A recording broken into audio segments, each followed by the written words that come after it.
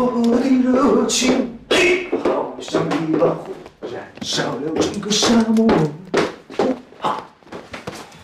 先脱衣服，不然晒不干。情，嘿，好像一把火。来呀来呀来呀！哎，来呀！嗯。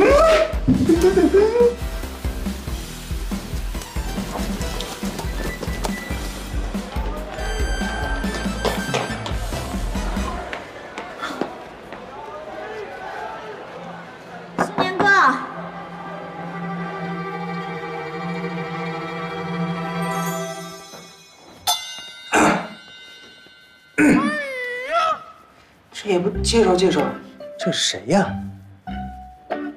邻居妹妹，哦，我好像抓到小年年的死穴了啊！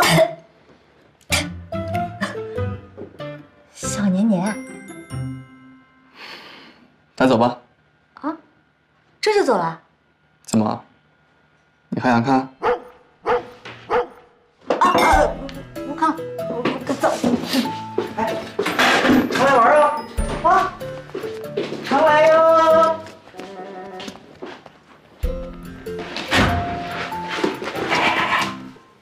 说是邻居那个，你信吗？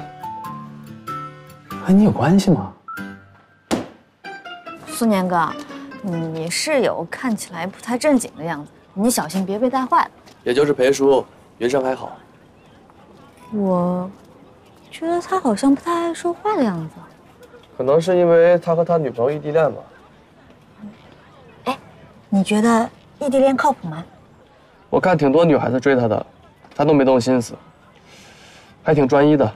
那挺好，那你多跟他玩，少跟裴叔接触。走吧，带你转转。嗯。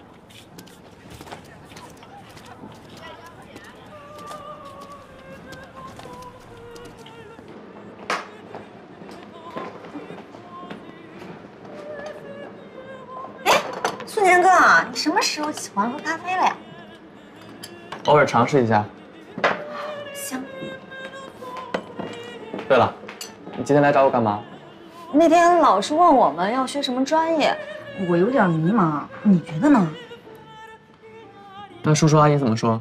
我妈当然是希望我考清华北大了，但我爸比较现实，他说顺其自然就好。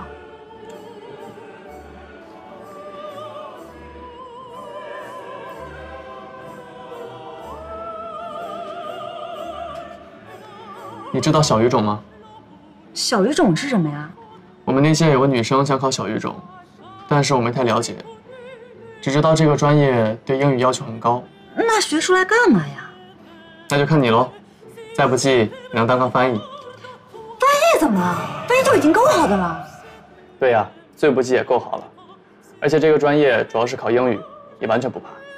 对呀，我语言天赋那么好，对呀、还这么自信。